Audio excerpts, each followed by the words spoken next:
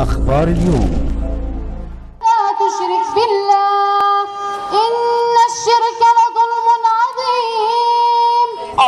لك مني يا أمي يا أم الشهيد كل الحب وأعلمي إن ابنك حي عند ربه يرزق. ولك مني أنا بقول, بقول ولا تحسبن الذين قتلوا في سبيل الله أمواتا بل أحياء. كل ام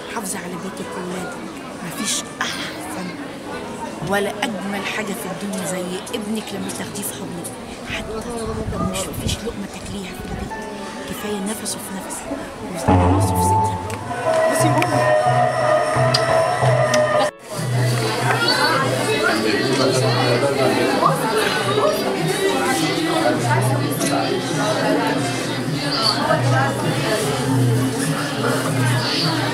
تعالى وهاتها وتعالى.